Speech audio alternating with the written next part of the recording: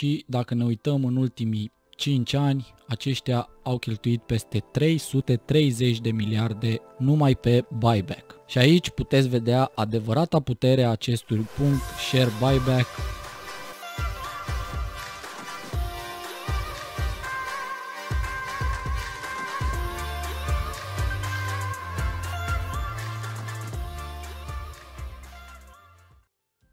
Gigantul Apple, ale căror acțiuni se tranzacționează în acest moment la prețul de 160 de dolari, au o capitalizare puțin peste 2,5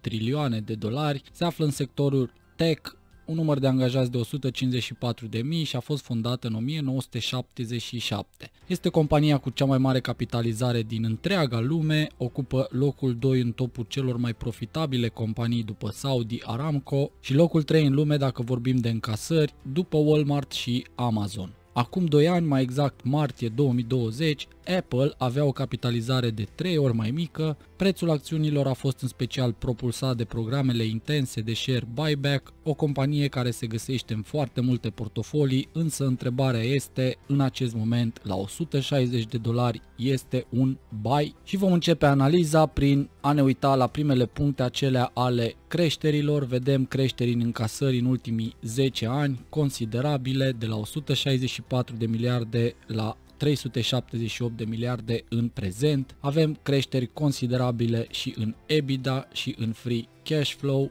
creșteri și marje extrem de bune, o marjă de profit brut de peste 40% în ultimul an, cu destul de mult peste media ultimilor 5 ani, la fel o creștere și a marjelor de profit net, care se apropie de 30%, marja EBITDA și ea în creștere, la fel și marja de levered free cash flow. Ce este foarte, foarte interesant este că toate aceste creșteri vin cu un CAPEX în ultimii 10 ani practic neschimbat, un lucru destul de rar, compania reușind să se dezvolte și să-și crească veniturile, profitul și free cash flow-ul generat fără investiții mari în acest sens. Vedem că aceștia cheltuiau aproximativ 10 miliarde acum 10 ani în CAPEX, în ultimul an au cheltuit practic aceeași sumă. Reușind acest lucru, Apple a fost capabilă să folosească acești bani în alte investiții care să aducă câștiguri investitorilor și vom vedea imediat exact care sunt acelea. Așadar, avem primele 4 puncte, verzi fără nicio problemă la Apple. Din punct de vedere al evaluării, aceștia se află în acest moment la un PE ratio non-gap de 26 și un price to sales aproape de 7, deci se tranzacționează în acest moment destul de scump, vedem în comparație cu ultimii 5 ani, deși veniturile și profitul companiei au crescut enorm după cum am văzut, aparent prețul acțiunilor a crescut și acesta mai mult aducând o evaluare în prezent mai mare decât de obicei. Asta deși ne aflăm undeva la mijlocul range-ului pe ultimele 52 de săptămâni, suntem în prezent la 160 de dolari, vedem că maximul a fost undeva la 182, minimul undeva aproape de 120 de dolari. Este o companie companie growth, probabil una dintre cele mai bune companii cu cel mai bun business de pe întreaga planetă și trebuie să fim conștienți că pentru a deține acțiuni Apple probabil va trebui să plătim un preț premium, vom vedea imediat care va fi acesta, însă până acolo avem așadar 3 puncte roșii din punct de vedere al evaluării. Apple are aproximativ 309 miliarde în totalul datoriilor față de 381 de miliarde în totalul activelor. Avem destul de multe datorii aici la punctul 8. Am dorit să vedem un debt to equity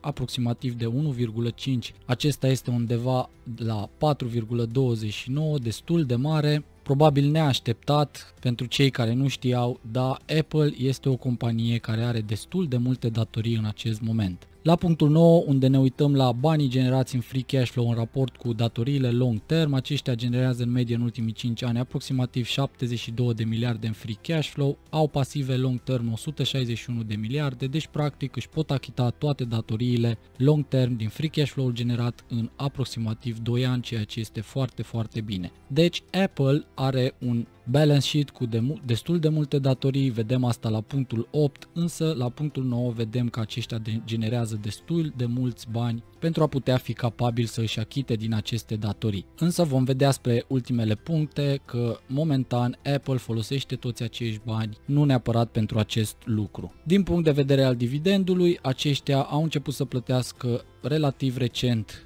și dividend, au o creștere consecutivă de 9 ani, îl plătesc quarterly în lunile 2, 5, 8 și 11 și au un dividend yield în acest moment de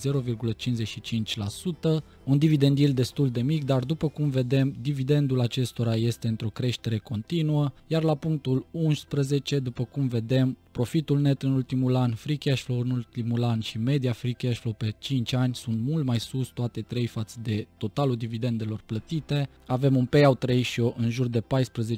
dacă ne uităm la free cash flow sau profitul net pe ultimele 12 luni și un payout ratio de 20%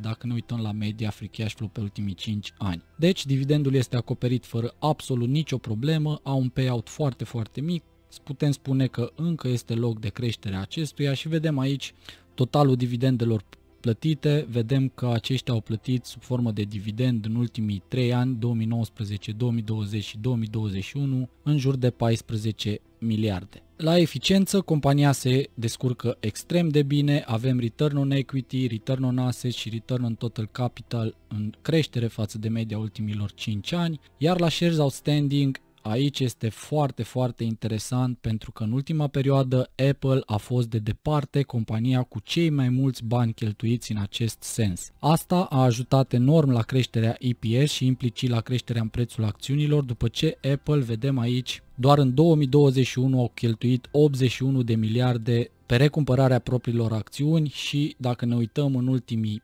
5 ani, aceștia au cheltuit peste 330 de miliarde numai pe buyback. Și aici puteți vedea adevărata putere a acestui punct share buyback atunci când compania folosește foarte mulți bani să își recumpere propriile acțiuni, profitul companiei per share crește și implicit și prețul acțiunilor acesteia. Per total, Apple bifează absolut toate punctele, în afară de cele de la evaluare și punctul 8 de la datorii, iar despre asta vom vorbi la urmă când vom concluziona totul despre Apple.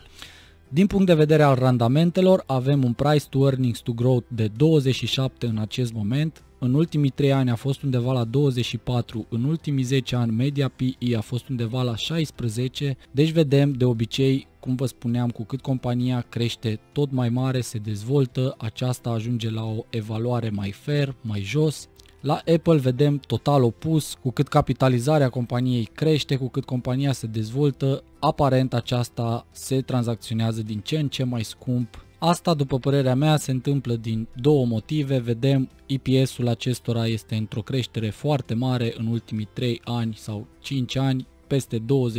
creștere în EPS anualizată. Aceste creșteri în EPS propulsează prețul acțiunilor, iar creșterea în EPS este totodată propulsată de toate acele programe de buyback pe care Apple cheltuie foarte, foarte mulți bani. Estimările analiștilor în următorii 5 ani sunt undeva la 14,85 noi vom estima o creștere de 12% în adjusted DPS în următorii 5-6 ani, ceea ce înseamnă că de la 5,61 în prezent ar trebui să ajungă undeva la 11 dolari în adjusted EPS la final de 2027, iar dacă compania se va tranzacționa în continuare la un PE de 25, după cum vedem că s-a tranzacționat în ultima perioadă, prețul ar trebui să ajungă undeva la 276 de dolari, ceea ce ne-ar aduce un randament de aproape 11%, neincluzând dividendele, dacă le vom include și pe acesta, randamentul ar fi undeva la aproape 12%. Avem în continuare un randament destul de bun și dacă va ajunge să se tranzacționeze la un PI de 20, un randament anual de 6% fără dividende. Deci compania se tranzacționează destul de scump în acest moment, însă dacă va continua pe aceeași traiectorie, aceleași creșteri și aceeași evaluare destul de sus, cu siguranță vor fi posibile randamente undeva între 6 și 11%. Dacă vor ajunge la un PI aproape de media ultimilor 10 ani, care a fost de 16, un PI de 15, atunci investiția noastră ar putea fi una care stagnează, beneficiind doar de dividendele pe care le vom primi, însă personal, deși îmi place să fiu mereu conservativ, sincer nu cred că Apple va ajunge în situația asta în următorii ani. Iar acum, pentru a afla valoarea intrinsecă sau prețul corect pentru acțiunile Apple, vom merge în modelul DCF din Google Sheets. Avem aici lista cu companii din baza mea de date, alegem Apple, ne ducem pe tabul destinat acestei companii. Vedem că în acest moment se tranzacționează la prețul de 163 de dolari, s-a modificat puțin de când am făcut prezentarea, însă nu foarte mult. Estimările analiștilor, după cum spuneam, sunt undeva la 14,85%. Vom folosi ca și metric earnings per share și vom merge în următorii 5 ani cu o creștere de 12% urmată de o încetinire la doar 8%, deci o medie de creștere în EPS în următorii 10 ani pentru Apple de 10% în scenariul normal. În scenariul WOW vom fi puțin mai agresiv, vom merge pe 16 cu 12, deci o medie de 14%, iar în scenariul conservativ vom merge pe 8 cu 4, adică în medie doar o creștere de 6% în earnings per share. După cum vedem aici, avem și veniturile de 378 de miliarde generate de Apple în ultimul an. Cu aceeași creștere de 10% și în venituri pe următorii 10 ani, Apple ar trebui să ajungă aproape de 1 trilion de dolari în încasări. Poate suna un pic greu de realizat o companie să ajungă să genereze un trilion de dolari pe an în încasări, însă din ce am citit în rapoartele acestora, de pe anul 2021 aceștia vor continua, continua să cheltuie destul de mulți bani, o mare parte din free cash flow-ul generat pentru a-și cumpăra propriile acțiuni, la fel cum au făcut în ultimii ani după cum am văzut, astfel că fiind tot mai pu- având tot mai puține acțiuni pe piață, acest earnings per share va crește puțin și artificial, deci la o creștere de 10% în EPS, probabil în venituri va fi nevoie de o creștere de doar 7% să zicem, pentru că acesta este practic rolul acestor buyback-uri, pe lângă faptul că dă un boost prețului acțiunilor, ajută și creșterea în EPS. Ne dorim un randament anual la o investiție în Apple de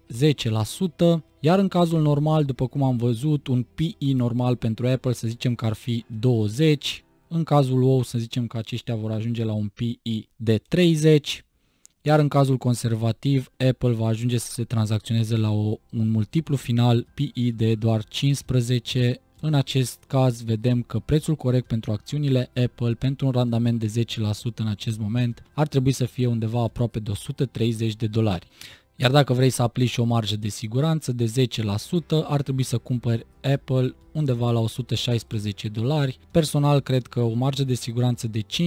pentru o companie ca Apple este ok, astfel pentru mine Apple ar fi de cumpărat undeva la 120 de dolari, după cum vedem în ultimul an a avut punctul minim undeva la 118, deci nu de mult, practic acum câteva luni Apple se tranzacționa la un preț corect. Iar în acest moment va trebui să vedem o scădere de aproximativ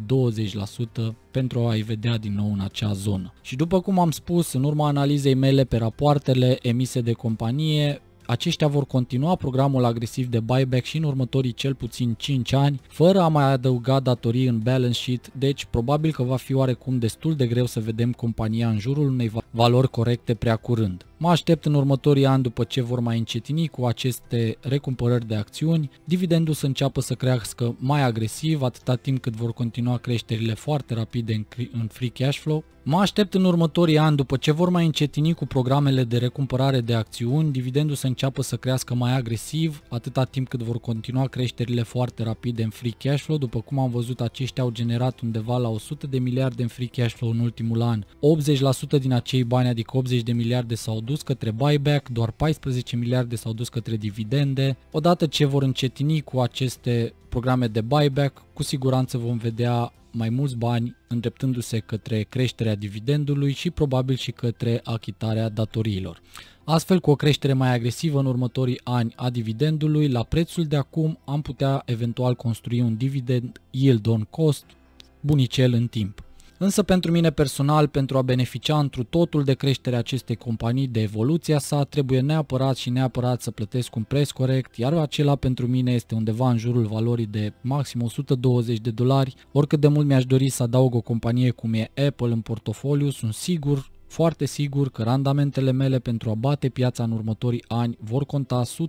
100% de prețul plătit, pentru că banii se fac atunci când cumperi, nu atunci când vinzi, la fel ca și în imobiliare și în alte investiții. Dacă vrei să vezi cât mai multe companii analizate de mine, prețul corect al acestora și vrei și tu să evaluezi orice companie dorești, te aștept pe membership, poți apăsa butonul de join sau alătură-te dacă ai YouTube în română. Le mulțumesc foarte, foarte mult tuturor celor ce au ales deja să facă asta, să susțină canalul Roy Invest. Sper că te-a ajutat și clipul de azi, că ai învățat chestii noi. Dacă s-a întâmplat asta, nu pleca fără să lași un mare like, pentru că ajută canalul foarte, foarte mult. Eu am fost Claudiu și prieteni, ne vedem la următorul clip. Pa, pa!